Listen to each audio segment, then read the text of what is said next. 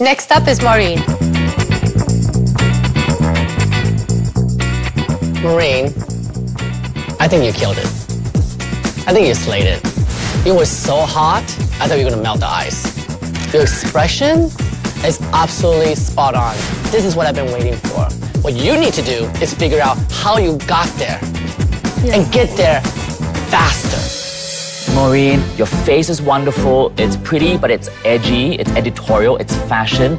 Everything is in place. Yes, you had the advantage because you could skate, and that's very clear because you've got this beautiful motion in the picture. But despite that, you look strong and confident. You knew what you were doing. So, Maureen, you're one of our smaller girls in the competition. When I look at this photo, you look six feet tall. You almost look a little evil, and I kind of like it. So, well done. Congratulations. I want to talk about your walk. Your walk is okay. It's strong, it's confident. So, you definitely can hold your own on the catwalk.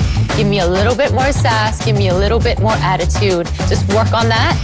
And otherwise, I'm very proud to see your progress throughout this whole competition.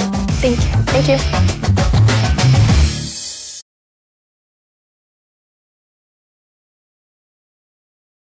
Next up is Maureen. Maureen, I think you killed it. I think you slayed it. It was so hot,